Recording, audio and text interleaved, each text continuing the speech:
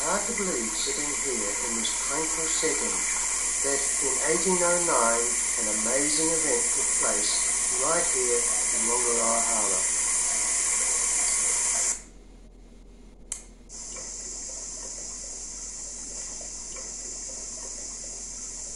Oh the sailing entered the Harbour. A batch of invited the crew back for lunch. After mains, they were still hungry, so they boarded the Boyd and made pancakes. Unfortunately, they couldn't read and mistook the gunpowder for flour.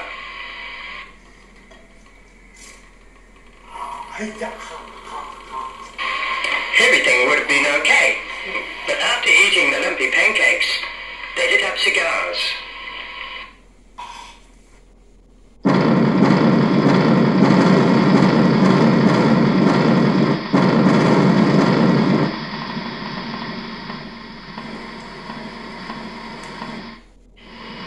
So that was the end of the Boyd.